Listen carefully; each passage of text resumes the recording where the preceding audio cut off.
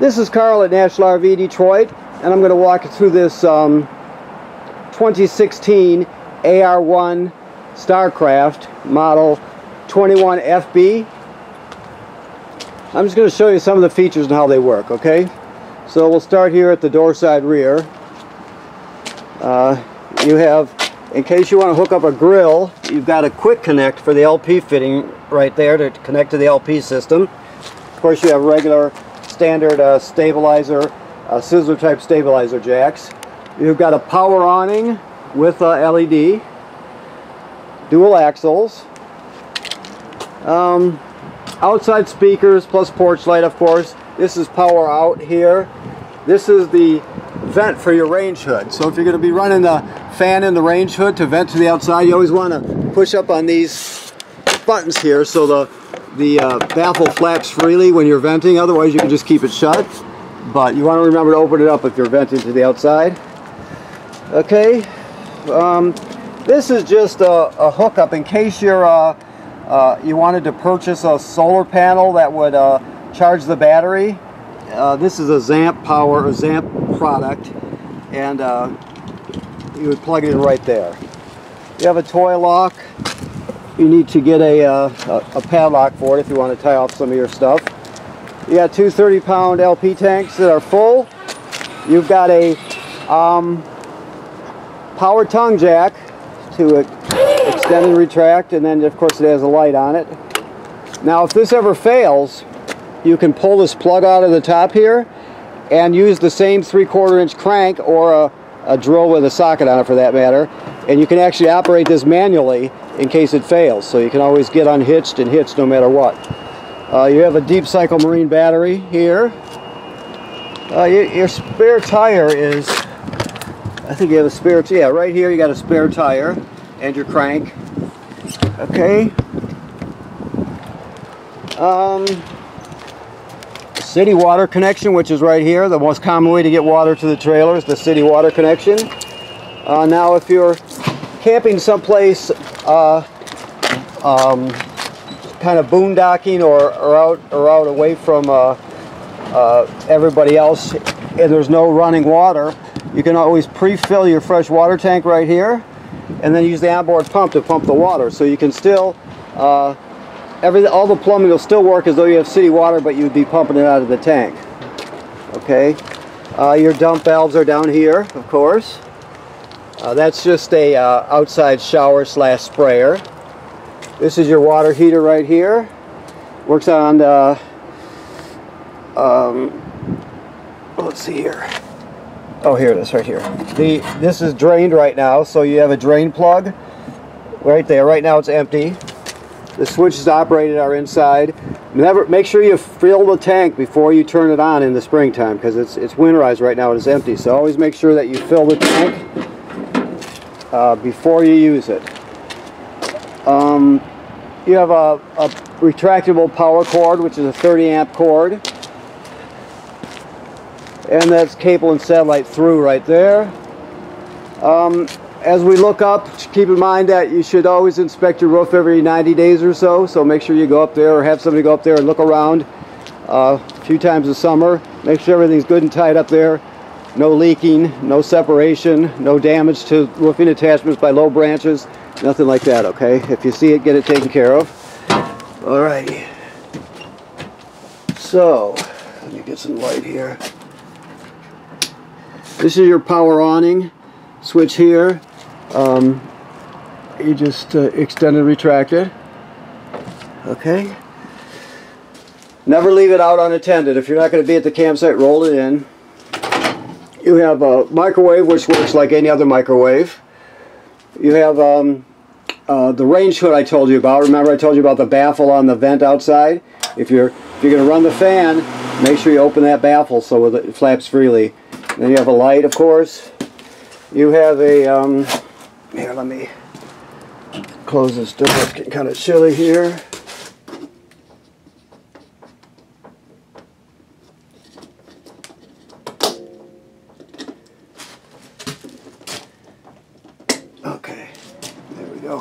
Okay, so um, where was it? Oh yeah, so you basically this is the sparker. You turn this clockwise to spark it. You got three knobs here, three burners. The fourth one, the one on the right, is for this oven here, which looks like it's never been used once, which pretty typical. We see that a lot. Um, but basically, you're going to, let me see if I have gases on here.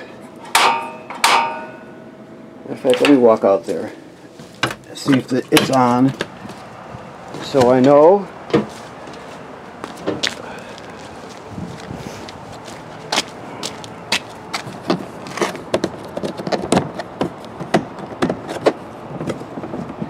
come on now don't fight me. Okay. Okay, so they're off.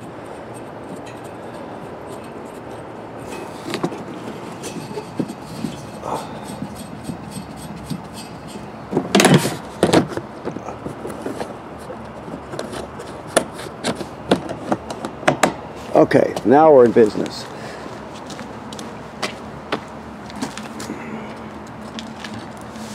So, go inside here. Now when you, when you, um, because it was, it, the tanks were shut off, it might have some air in the line, so we'll have to, oh no, it's, it's, it's right there. So it's that simple. You just turn it to light and then spark it by turning this clockwise and you're all set.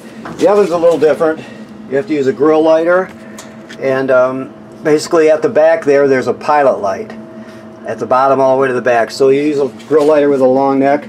You come to the knob here and you go to, to pilot push and hold. Push it in and hold it while you light it. Then you would light the, um, the pilot light. Once it lights, you still hold this for another 10 seconds or so to heat up the thermocouple. Then you go to operating temperature.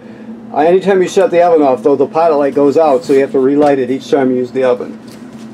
Okay. Keys are right here on the sink. Um, this is a LP detector here. Should always be green. You have, uh, let's let me look around here, see what we've got. And This is this is just a smoke detector here. Okay. Okay. Um, this is your thermostat. Uh, you basically you're going to click this to the right, this little lever here to the right to shut it off. Click it to the left to turn it on. The temperature selection is under here. Okay. The bathroom Let's find the, oh, I guess the switch is up here. So, sink and shower work like any other sink and shower. You have a power vent with three speeds. Um, this uh, toilet has to, the black tank is directly below, right? So you have to have um, uh, chemical and water in it before you use it. So when you get to the campground, you hook up your power and your water, you go in there, you'll dump one dose of chemical in the bowl, then you'll pull the flush lever forward and let about a gallon of water go into the tank. So you use one dose of chemical and one gallon of water before you start using it. You can't use it dry. If you do, the smell will be terrible, plus it can get clogged up, so you don't want that to happen. Um, so remember, always, always do that. Now, this, this fan here, by the way, you can also use it if it's the time of year when you've got a bunch of people over and you're starting to get condensation from your breath, if it's that time of year, you can turn that on uh, low with that fan, and it'll pull all the condensation right out if you need to. All right, so your, your refrigerator is a gas absorption refrigerator with a freezer right here. This one's Norcold. So right now it's on auto, if you can see that. There's off, auto, and then to the right is gas. Um, auto means electric. It means that uh, it'll always seek out 110 AC and use it if it's available. If it can't find it, it'll automatically switch to gas. Or better yet, or better illustration is if you, you leave early in the morning to go out exploring for the day and it's going to be a hot day, a few hours after you leave, the power at the campground goes off, right? So it would sense that, and after the power went off, it would automatically switch over to gas so you don't spoil your food. So generally speaking, you're going to have it on auto and the temperature up all the way. Alrighty, this jackknife's flat here, turn it into a bed. You can also drop this table down onto the cleats, the tabletop.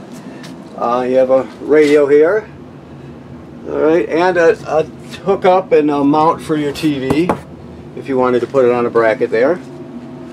This is the escape window. You just undo these clamps and you can escape, or these latches, I mean, you can escape out that window. All right, the air conditioner has two knobs. Um, this one here is thermostat. You want it to be wide blue. That's that's as uh, as cool as it gets. And then you have four speeds: two fan speeds, and then two air conditioning speeds. So uh, the fan speed just circulate air. The air conditioner uh, speeds use the compressor and actually air condition it. So, all right. Okay, this is your stuff here, your packet. So I think that covers it. Let me make sure I didn't forget anything. Let me look around here a bit. I think we've got it. Oh, one more thing. There we go. So this this device right here is your power converter. What this does, it converts AC to DC power. So when you're plugged into shore power, it has circuit breakers right here, just like you'd um, see at home. They're 110 AC, right? And they're labeled. Then over here, you, it's the power's converted to 12 volt DC. So you got 12 volt fuses here, and they're labeled. Um, so that's where you get the DC power from. This is also a battery tender. So it's going to sense how, as long as you're plugged in, it's going to sense how much energy your battery has and needs up there, and it'll send uh, send power up accordingly. If it's if it's topped off, it'll just trickle a couple amps up there. If it's low, it'll send 10 amps or whatever it needs. So it'll keep your battery charged. Now, when you're pulling this down the road, the alternator will send uh, send power through the charge line to your battery and charge your battery when you're going down the road. So keep that in mind. Okay. All right, so that's it then. So first of all, I want to thank you for purchasing your trailer here at National RV Detroit.